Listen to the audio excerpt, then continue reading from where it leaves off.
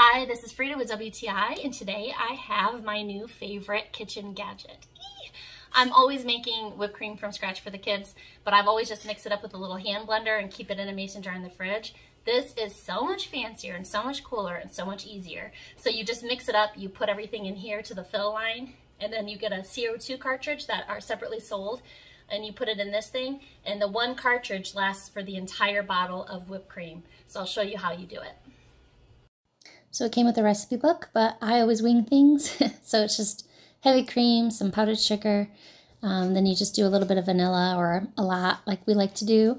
And then for a special treat for the kids, I like to do food coloring. So I just did one drop of green, makes it a nice mint green color. Super easy, no whipping of any kind. You just mix it and pour it right in the dispenser.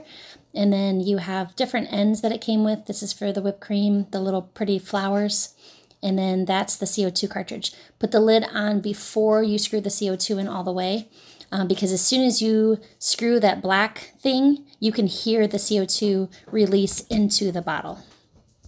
And invert it completely. it's so fun. Just a nice little mint green. I'm having way more fun with this than I should. Your kids are like mine, and they're spoiled, and they like fresh whipped cream, and they especially like to do this, this is the way to go. Pick one of these up. You make your whole family happy. That's my point of view.